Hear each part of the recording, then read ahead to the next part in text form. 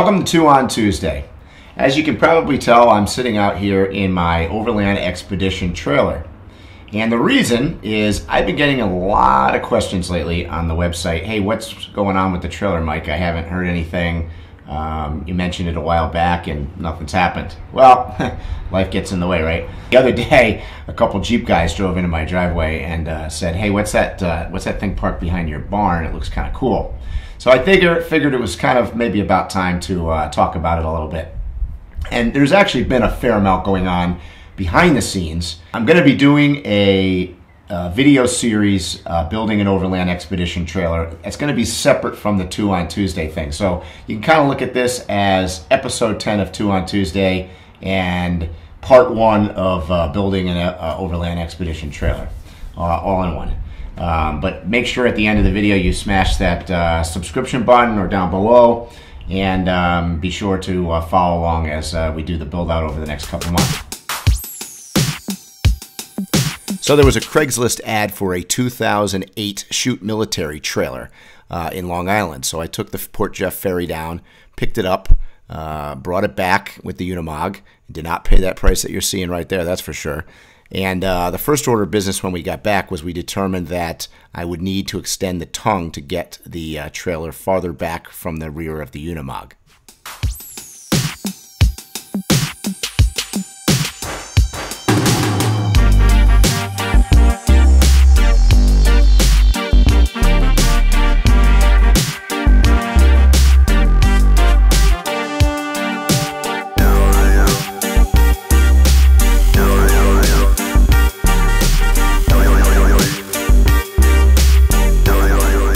After all the cardboard uh, mock-ups and the uh, design phase was done, you can see from this picture right here, the extended tongue was on and it was sitting nicely away from the Unimog. It was time to go back to the shop to construct the frame, which was uh, made out of square tube aluminum once again.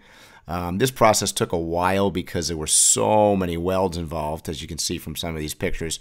We wanted to make sure that uh, we had everything measured out right for windows, ventilation, uh, rooftop hatches, etc.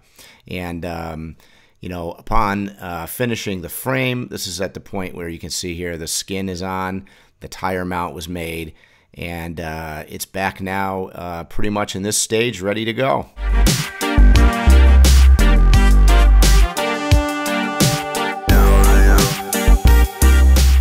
Concept for the trailer probably started, I don't know, many, many years ago. I've had uh, Land Rovers and Jeeps and uh, the Mercedes Unimog, and you know a few other vehicles in between.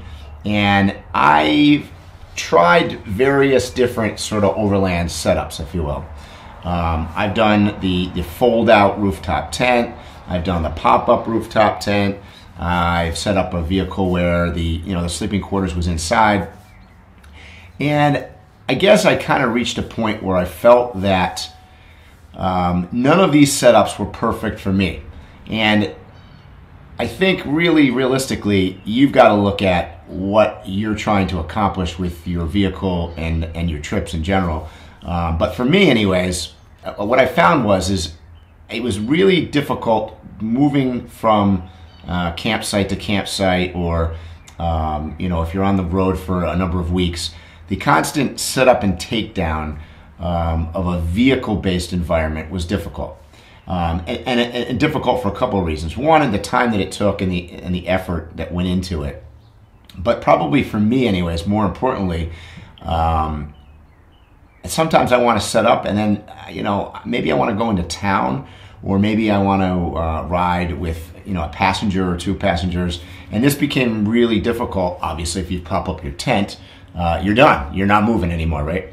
So that's kind of what gave me the idea of, hey, what about a trailer? Because I could, you know, in theory, you know, arrive in a camp, set up my trailer, go to the grocery store, um, you know, go to uh, a restaurant, um, go for supplies, uh, potentially even go explore other, um, you know, maybe maybe off-road things that I, I might not be comfortable doing with the trailer.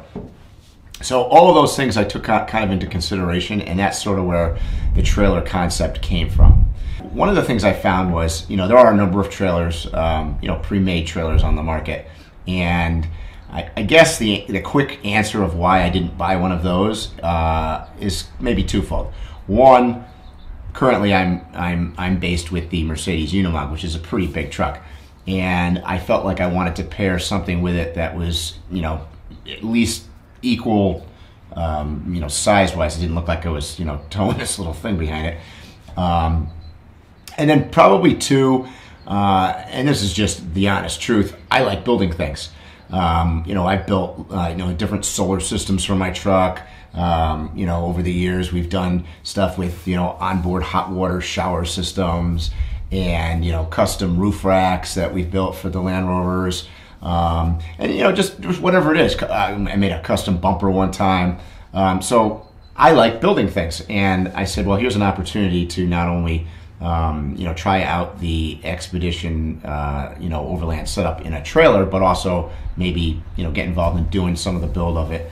And, um, you know, so that's kind of where we're at. So that, that, that's sort of the why. I looked around on the web to try to find, you know, what a suitable trailer would be. And that's when I came upon, uh, you know, this trailer here. I actually had hoped to road test this trailer last fall at the uh, Overland Expo East. And, you know, as you can, well, you, you can look around and see it's not done and not ready to be road tested. So anyways, let's look at the inside of this thing a little bit. Um, as you can see, we used uh, inch and a half uh, square tube aluminum uh, to frame it out. And then we skinned it with, um, you know, aluminum uh, sheet, I guess if you want to call it. But everything uh, on this entire uh, trailer is basically aluminum, and it was aluminum from the factory when the military did it as well.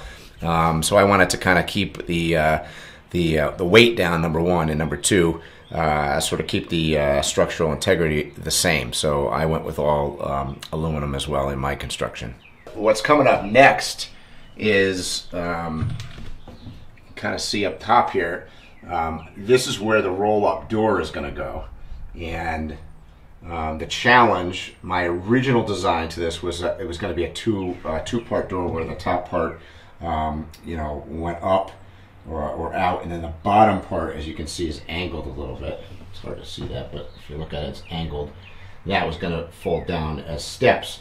That concept became difficult, um, too expensive to build. So what I am doing is a roll-up door um, that comes out, and I will have some kind of fold down uh, step system. Haven't quite figured out all of that yet. The front opening is going to be uh, also a roll up door, and that gives us the ability to have you know a wide open uh, environment. So um, you know you don't feel like you're claustrophobic inside this thing. So you can see that the trailer itself, um, I did not modify any part of the, the base trailer. Um, and it was, uh, I think as I mentioned, is brand new. And, um, you know, maybe there was a few little scuffs on it, most of which I think I've done since I've owned it. Um, the tires uh, are original. Everything on this thing is original, um, and uh, it was never used. We extended the um, the tongue, if you will, uh, you can see the piece that we put in here in the middle. Uh, we built in, and we felt like the this thing right here, the, the uh, you know the whole main structure of it was too long. So to make it structurally more sound, we added these two um, outriggers on the side, and we tied those back uh, to the frame of the vehicle as well. We go down, take a look at your ground clearance is awesome on this thing. I think you can also see here that the uh, trailer has a fully uh, independent trailing arm suspension. It has uh, shock absorbers on each side. There's 37 inch Goodyear uh, rubber on this trailer. The lighting system is all 24 volt and converted to all LED, which is very nice. So next up is doors, exterior lighting uh, windows and prep uh, ready for paint.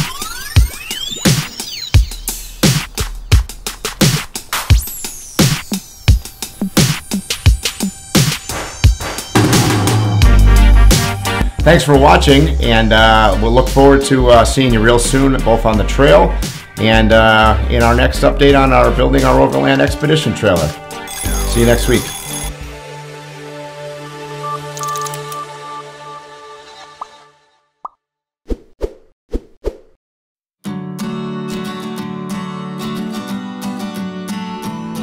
Thanks for watching this video.